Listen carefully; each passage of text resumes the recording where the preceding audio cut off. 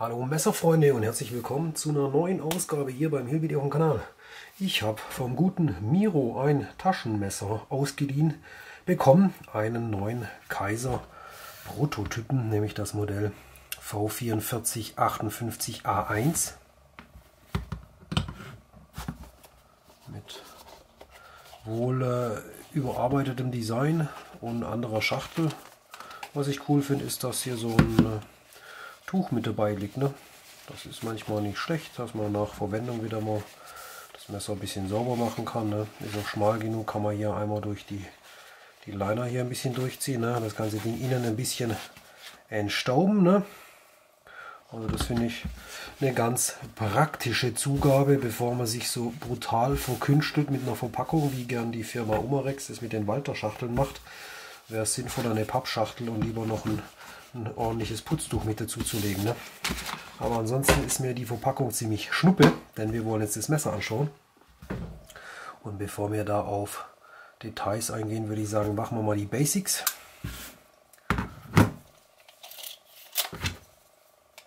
Kurz die Maße von dem Ding.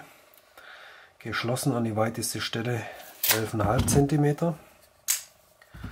Im ausgeklappten Zustand 20,6. Wir haben eine Klinge von maximal hier runter fast 9,5 und eine brauchbare Schneide von 86 äh, mm. Und wir haben ein Gewicht von diesem neuen Kaisermesser von 113 Gramm. Das entspricht Genau 4,0 Unzen. Sehr schön. So, jetzt haben wir ein bisschen Zeit, ein bisschen Lust, ein bisschen Spaß, das Ding genauer anzuschauen. Der erste Eindruck zählt natürlich immer. Ne? Heutzutage kann ich wirklich sagen, also es kommt wirklich selten vor, dass ich ein Messer zuerst sehr abstoßend finde und im Nachhinein gefällt es mir doch. Oder andersrum, es ist wirklich so der erste Eindruck, kannst du ein Messer anschauen, in die Hand nehmen und dann weißt du wirklich nach einmal auf und zuklappen, okay, gefällt mir oder hm, würde ich mir jetzt nicht kaufen. Das kommt auf jeden Fall auf die Seite, gefällt mir. Und wieso? Ich mag inzwischen eigentlich wirklich so diese schlanken, einfachen, aufgeräumten Designs. Erstaunlicherweise ist die Firma genau für das Gegenteil bekannt. Wenn man sich den Katalog anschaut, da sind sehr aufwendig gestaltete Titanmesser mit 3D-Fräsungen und dieses Regenbogen-kolorierte Titangedöns und Clips. Miro, du hast ja gesagt, der, der Clip ist sehr recht einfach und langweilig, aber mir gefällt sowas. Also mir ist so ein Clip zehnmal lieber wie irgend so ein verschnörkelter Schlangenschwanz mit Pfeilen Kreuzchen und Häkchen drauf und noch in Blau Titan anodisiert oder irgendwas. Nee, muss seinen Zweck erfüllen. Aber zum Glück später noch. Ja, dieses lange, schlanke, elegante Design und vor allem, wenn dann die Klingen mit drin sind, dass das Ding nicht wesentlich größer aufbaut. Zum Vergleich habe ich hier gerade mal das Zero Toleranz 0550. Das ist eigentlich genau das Gegenteil. Das mir so eigentlich inzwischen nicht mehr so stark gefällt diese wirklich großen, massigen Aufbauten. Ne? Gerade von Kaiser gibt es ja einen Haufen dieser Messer mit diesen großen, gigantischen Griffen. Ne, da ist mir doch lieber das schlanke Design lieber. Ne? Messer, in dem dann mit eingeklappter Klinge das nicht sonderlich größer wird. Hier ein Small Sibenser oder selbst hier der Titanworker, ne? wenn man den hier neben das äh, Zero Tolerance stellt. Ne? Hier hört das Teil mit Klinge auf, wo hier das Heft hier in der Mitte aufhört, geht ja hier hinten noch weiter, viel wesentlich weiter hoch. Ne? Wenn man das mal so in, alles in Höhe stellt, ne? da gehört er schon zu den flachen, eleganten. Hier noch ein guter Vergleich dazu, das Manly. Ne? Da kann man wirklich drauf eingehen. Das sind wirklich zwei so Designs, die wirklich Schlicht, einfach, funktionell, geradlinig, nicht zu viel Schnickschnack und das Manly, das hat es wirklich hier, das Comrade, zu meinem absoluten Favorit gemausert. Und genau in diese schlichte, einfache, länglich, schmal gehaltene, unauffälliges Design passt sich dieses Kaiserknife ein. Ne? Das ist hier geschlossen, klar, Slipjoint. Hier haben wir natürlich einen Liner-Lock.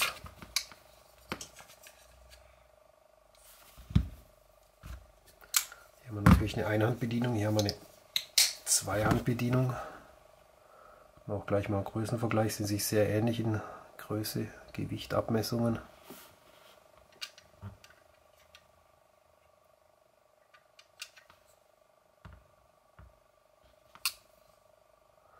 Wobei ich da dann noch sagen muss, dass mir vom Design das Kaiser noch ein Touch besser gefällt wie das Manly. Das ist wirklich ein sehr schönes, aufgeräumtes Messerdesign.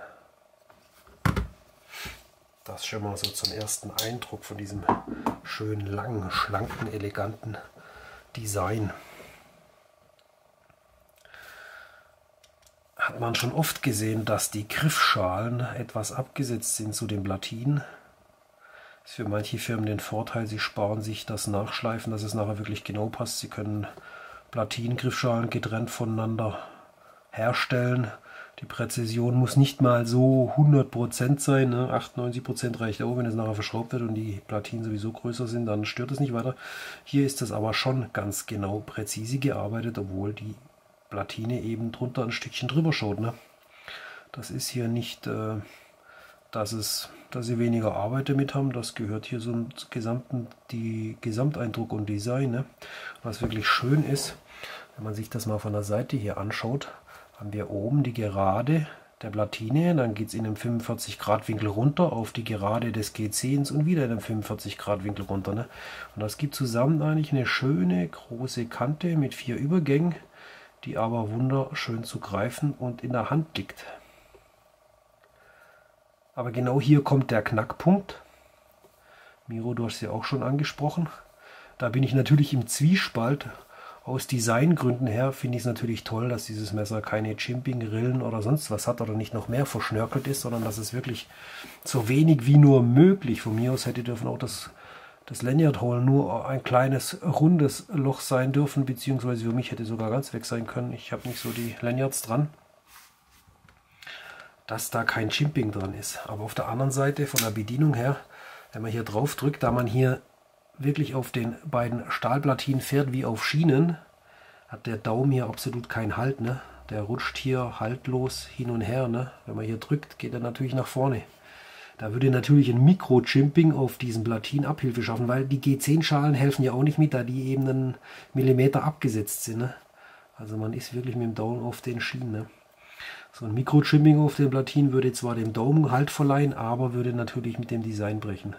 Wenn ich dann die Wahl hätte jetzt hier bei dem Messer, das gleiche hier unten, der Liner, kann man wunderbar bedienen eigentlich, würde man mit einem ganz feinen Rillen noch ein bisschen verbessern, aber würde natürlich wieder ja, Unruhe da reinbringen. Wenn ich dann die Wahl hätte zwischen der etwas besseren Handhabung mit Mikrorillen oben und unten oder dem glatten, aufgeräumten Design würde ich mich in dem Fall fürs Design entscheiden. Also es ist schon besser, dass es weg ist, aber es ist natürlich hier ein klein bisschen, ne? so ein paar Rillen bringen manchmal schon ein bisschen halt, ne? Hier ne, habe ich dem Rücken so ein bisschen so ein ganz feines Chimping, ne? das gibt natürlich Halt. Aber hier, es ist sauber aufgeräumtes Design. Da stört wirklich nichts das Auge. Das Messer läuft sehr gut. Der Liner rastet eigentlich perfekt ein. Mit seiner ganzen Breite geht er hier drüber. Vermessen wir mal. Die sind ganz ordentlich. Das Edelstahl, ne? die haben 1,6 mm. Die Klinge hat 3,23 mm. Das entspricht, das sind 0,126 Inch. Also noch eine schöne, schlanke, schneidfreudige Klinge. Flachschliff. Muss man noch ein bisschen abziehen, um dem wieder die letzte Schärfe zu verpassen. Die Beschichtung finde ich nicht mal so schlimm. Ist ja kein so wirkliches All Black. Ne? Das ist ja, geht ja mehr so ins anthrazitfarbene Coating im Lichtspiegel sogar fast eher wie ein Silber. Ne? Das hier unten ist wirklich eine schwarz-matte Beschichtung, das ist so Anthrazitfarben. Finde ich nicht mal so übel. Ob ich das in blank Silber wollte, Es wäre nochmal von den Farben dann eben nur schön zweifarbig. Eben hier eine Adi silberne Teile, schwarzes G10 und eine silberne Klinge. Wer weiß, vielleicht bieten sie ja dreifarbig an. Komplett schwarz, dieses Anthrazit und komplett silber. Müsste man mal sehen und nebeneinander halten und vergleichen, wie es aussehen würde. Die Daumenpins finde ich hervorragend. Die sind wirklich sehr gut geformt. Sie tun absolut nicht weh. Das Ding kann man zigmal auf und zu machen. Sind auch schon schön großgriffig. Man greift hier wunderschön hin.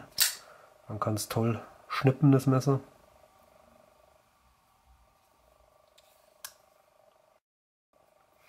Haben mal so ein bisschen die, die Pins von Chris Reeves sind natürlich hier arg spitz. Da muss man wirklich nicht, darf man nicht oben drauf. Das tut mir der Zeit weh, sondern muss man wirklich sauber von der Seite dahinter. Das ist nur eine Übungssache hier. Das kann hier aber nicht passieren, ob ich da von der Seite oder oben drauf. Das ist egal, die sind wirklich hervorragend gerundet und auch hier überhaupt nicht scharf.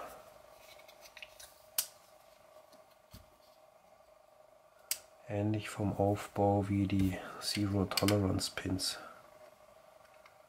Na, hier oben so zwei, drei Absätze, um den Übergang nicht zu scharf machen. Wobei hier die oberste Kante leicht scharf ist, habe ich hier nicht. Da muss man natürlich viel mehr Masse bewegen. Das ist hier mit dieser schlanken, feinen Klinge etwas leichter zu bewerkstelligen. Was mir super gefällt, ist die Achsschraube. Das ist ein Traum von Achsschraube. Gleichmäßig groß auf beiden Seiten und ich mag es eigentlich so Rückseite ne, flach. Was ich nicht so mag, sind Schrauben von beiden Seiten zu justieren. Das finde ich komfortabler. Auf der einen Seite blank, auf der anderen Seite ein schöner Torx. Und hier eben die Schraube. Das sind hier wir unterschiedliche Größen haben, haben wir hier eben gleichmäßig groß und schön groß. Ne? Da wird die, die Kraft auf eine große Fläche verteilt. Das finde ich sehr gut gelöst. Also das ist wirklich eine wunderbare Achsschraube. Nicht zu groß. Es gibt ja welche Sachen, die sind wirklich ganz gigantisch, wie man schon gesehen hat. Ist aber jetzt hier die größte, wo ich hier dran habe. Gut, hier sind nochmal so große. Das wird natürlich schon wieder ein bisschen unruhig durch die vielen Rillen. Also das ist eine sehr schöne Achsschraube. Dürfte ein 8er Torx sein, ist relativ groß. Schauen wir mal, was habe ich hier noch dran vom letzten Mal. Ein 8er, genau, schauen wir mal, ob das ein 8er ist. Oh ne, der hat sogar noch ziemlich Luft. Ja? Ist das noch eine Nummer größer? Habe ich überhaupt da einen 9er? Ne, das geht hier direkt auf eine 10er. Ah, 10er. Sogar ein 10er Torx. Also schön groß. Die kleinen Schrauben haben wir dann wahrscheinlich. Was haben wir bei den kleinen? Hier habe ich einen 7er. Nein, dann wird es wohl 6 sein.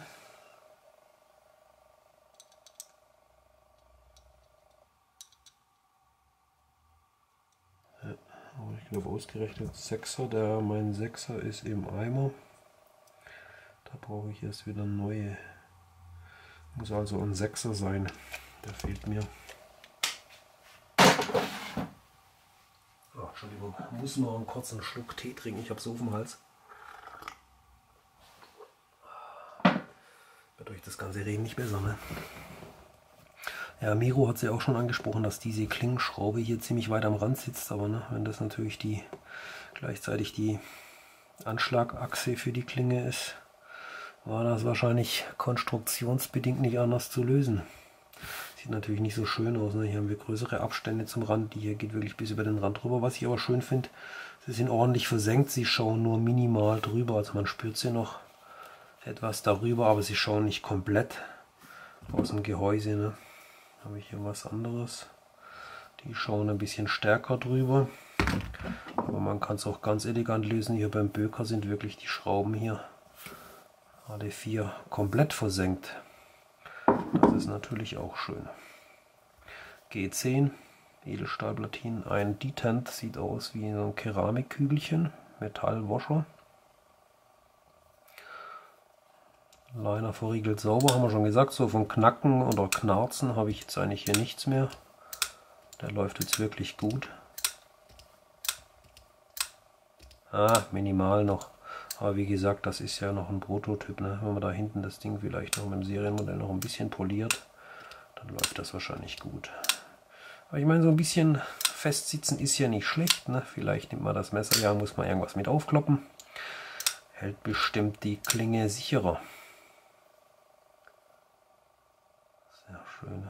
Hier haben wir VG10 drauf, das neue Kaiser-Logo auf der Seite.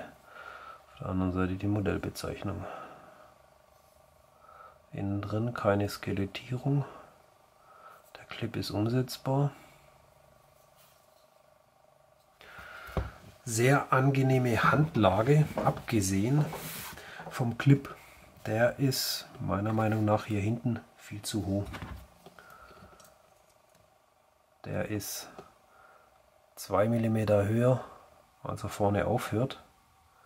Und ich denke, so hoch wie der Abstand ist, so breit ist keine Jeanshosennaht, dass man einen 5 mm, also der Innenraum ist 5 mm, außen steht 6 mm ab, dass man hier einen halben Zentimeter Luft bräuchte. Den würde ich 2 mm absetzen, denn hier hat man wirklich, wenn man drückt beim Messer, eine einzige Druckstelle, sonst liegt das Messer eigentlich sehr gut in der Hand. Und das ist genau der hier hinten abstehende. Ne? In der Clip hier parallel verläuft und sich eigentlich keine Druckstelle bildet, habe ich hier auch nicht. Nach vorne, er geht flach raus, das ist ganz gut, greift gut über die Jeans, aber ich finde hier hinten dieser Huppel, der ist zu hoch. Wenn das mein Messer wäre, würde ich mir den versuchen, den Clip abzuschrauben und das Ding rauszubiegen. Mindestens einen Millimeter, wenn nicht sogar zwei runter.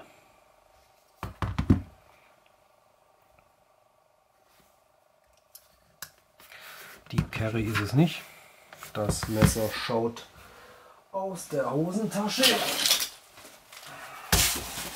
Ein kleines Stück eben. Dahin. So, zum Vergleich Messer hier drauf. Da gehst du drüber. Boah, der Manly Clip ist hammerhart. Also das Messer ist wirklich alles hammerhart. So. Jetzt zum Vergleich noch einer, der Dieb sitzt. Na, hier.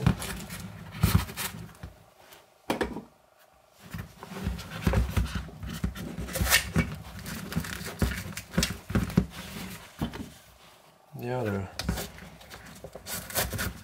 Zero Tolerance, ne? Hier sehen wir mal, wie sehen wir es am besten?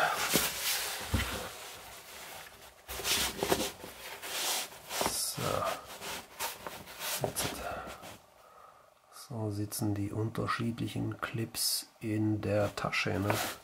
Das ist noch nicht mal ganz unten.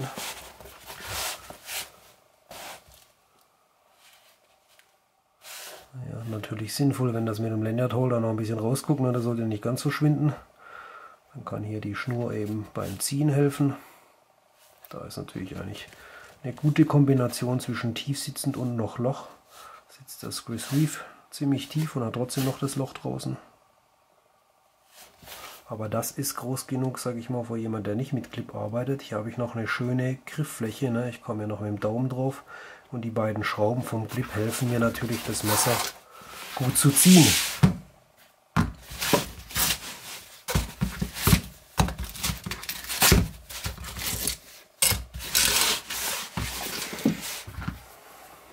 Ja, den Clip würde ich noch 2 mm tiefer gestalten.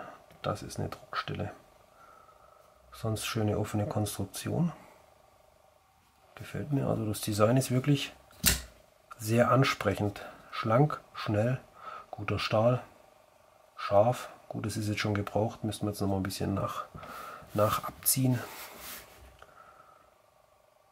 Aber sonst im Großen und Ganzen ein schönes Messer, nicht mehr sagen, von diesen ganzen chinesischen Firmen, die in letzter Zeit da wie Pilze aus dem Boden schießen, haben mir bisher die Messer von Real Steel ganz gut gefallen, denn die hatten ein gutes Preis-Leistungs-Verhältnis, auch vom Alltagsnutzen her.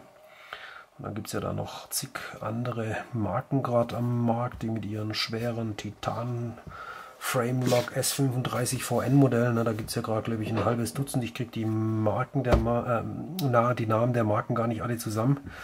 Kaiser gehörte auch dazu, war bisher mit diesem großen bunten Riesenklopper eigentlich auch gar nicht so auf meinem Radar, muss ich echt sagen.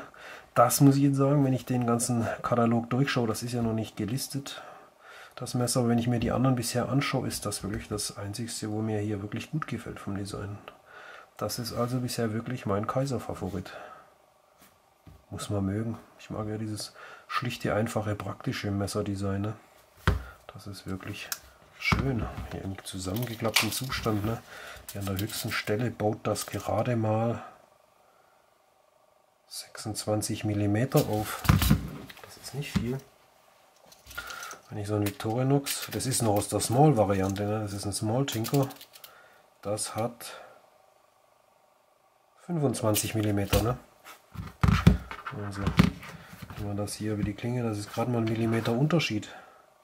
Hier von der Klinge bis über die Aale 25 mm, hier 26 mm. Das ist schon, und das ist ja kein 91er, sondern das, äh, die 86 mm oder 85 mm Variante. Das baut nicht hoch auf. Das ist wirklich schlank in der Tasche. Ich habe es heute Nachmittag in der Tasche schon dabei gehabt. Das, das spürst du überhaupt nicht. Tolles, schlankes Design. Messer hier an sich ohne Clip, sondern nur über die Griffschalen. Das hat gerade mal 12,26 mm und 2 Layer Small Tinker hat 13,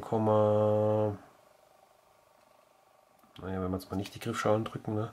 13,8. Ja. Das ist ein Millimeter, über einen Millimeter schlanker als ein 2 Layer Small Tinker. Ne? Ja. Kann man sich mal erahnen, wie schlank und lang dieses Messer dann eigentlich ist. Ne? Hand, ja gut, Handschuhgröße 9, da passt auch noch 10, 11. Eigentlich für mittlere bis große Hände sogar ausgelegt der Griff. Hat ja auch eine ganz ordentliche Klinge, ne? so eine 9er bis 20,5. Kein kleines Messer. Und wenn man sich das Mandy dazu anschaut, passt das auch gerade wirklich in mein Beuteschema. Ne? Also ein ganz heißer Kandidat, dass dieses Messer wieder mal ein Chinese ist, den ich mir kaufe. Vor allem zum Preis steht ja noch nichts Endgültiges fest. Miro hat was erzählt von circa 70, 80 Dollar. Das wäre ja eine ganz äh, interessante Hausnummer. Denn ich würde mal sagen, so über 100 Euro würde ich auf keinen Fall für das Messer bezahlen wollen auf dem deutschen Markt, aber für, für 75 Euro würde dieses Teil mit Sicherheit mal in meine Messertasche wandern. Ne? Überlegt, hier sind wir bei äh, 34 Euro. Ne? Also dieses Teil hat äh, für viele Messer die Lade ziemlich hochgelegt, beziehungsweise im Preis ziemlich weit runter. Ne? So eine Bombenqualität abzuliefern, Made in Europa für 34 Euro. Da darf sowas nicht 134 Euro kosten. Ne? Über 75 Euro könnte man da noch gut reden. Aber sind wir mal gespannt, wo es preislich liegt. Ja, Kaiser. V4458A1. Schöner, eleganter Folder. Ich sag mal, der Erfolg von dem Messer, denke ich mal, ist über den Preis zu regeln. Denn ich glaube, es gibt viele da draußen, die eher auf solche schlichten, praktischen Messer stehen, als die zu arg verspielten asiatischen Titan-Frame-Locks, die es ja gerade zu Hunderten fast gibt. Ne? Und diese Firmen, die hauen ja ein Modell nach dem anderen raus. Ne? So ein Sebenza wird dann mal über ein Vierteljahrhundert gebaut. Hier werden ja Modelle im, im Wochentakt vorgestellt. Da ist mal so ein schlichtes Alltagsdesign ja richtig erfrischend für so eine chinesische Firma. Ne? Wenn ich ehrlich bin, kann ich die ganzen Monster Titan Lock Frame Lock Folder nicht mehr sehen. Finde, das ist schon wieder zu viel des Guten. Genauso wie ein, äh, ein äh, Zero Tolerance im Hinderer Design 2012 Furore gemacht hat. Ne? Dass äh, eben das 0560er Design, sage ich jetzt mal, wie das damals äh, weltweit Furore gemacht hat und unzählige Male kopiert wurde und inzwischen in 1000 verschiedenen Variationen weltweit von den verschiedenen Herstellern gebaut und nachgebaut wird, ist das genauso tot. Also das lockt keine Katze mehr hinterm Ofen vor, finde ich. Werden zwar immer noch Woche für Woche Messer in dem Design auf den Markt geschmissen, aber nee, ich finde, es geht immer wieder zurück zu alten, klassischen angenehme Form. Vielleicht nur ein bisschen mehr Design und manchmal ein bisschen weniger. Oder einfach zeitlose Klassiker. Einfach auch ohne Schnickschnack.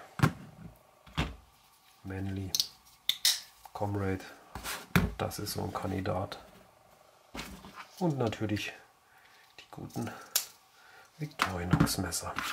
Tja Leute, ist jetzt mal ein bisschen länger geworden, aber man hat nicht alle Tage die Möglichkeit, so einen neuen Prototypen anzuschauen. Vor allem einer, der momentan so ziemlich in mein Beuteschema passt. Ja, mal schauen, wo der Preis hinwandert. Ne? Das wird dann vielleicht ein ganz interessantes, brauchbares Messer. Okay Leute, ich sage danke fürs Reinsetzen, Bewerten, Kommentieren. Der Link zu Miro, seinem YouTube-Kanal, hängt natürlich drunter. Schaut da mal vorbei, er wird die Videos der anderen äh, Reviews sammeln. Da gibt es gerade eine ganze Haufe äh, neue Kaiser-Knives, die hier so unterwegs sind, die vorgestellt werden. Und ich habe mich eben für dieses schlanke Modell entschieden, das mal anzuschauen. Okay Leute, danke Miro für die coole Aktion. Alle weiteren Links stehen drunter und wir sehen uns hier bald wieder beim Hilby auf dem Kanal zum neuen Video. Und bis dahin sage ich Ciao und immer schöne Taschenmesserchen dabei haben. Okay Leute, bye bye, macht's gut. Euer Hillbilly.